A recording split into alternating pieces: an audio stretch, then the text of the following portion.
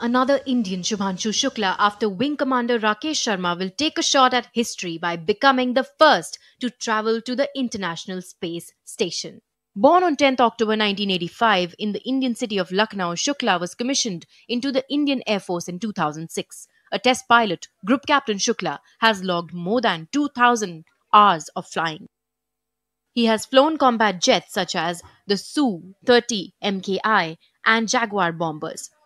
ISRO chairperson V. Narayanan says that the benefit India will get from this mission is phenomenal in terms of the training, exposure to the facilities, and the experience of jointly conducting experiments in space.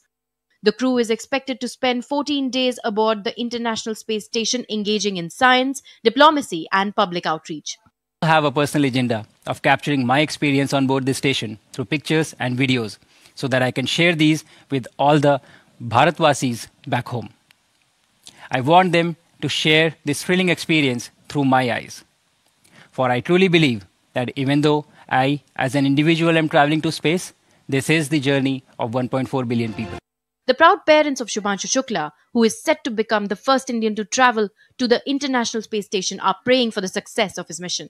भगवान से यही प्रार्थना करते हैं कि अच्छे से अच्छे उनका मिशन कंप्लीट हो और अच्छे से सब पूरे भारत का नाम रोशन हो हम घर लोग घर वालों का तो नाम रोशन है ही हम लोग का सीना चौड़ा हो गया है गर्व से From the cockpit of a Sukhoi to the spacecraft cabin, the trajectory of Group Captain Shubhanshu Shukla is now headed beyond the Earth. When the engines ignite and the Falcon 9 lifts off, it won't just be one man heading to space. It will be a nation taking its next confident step among the stars.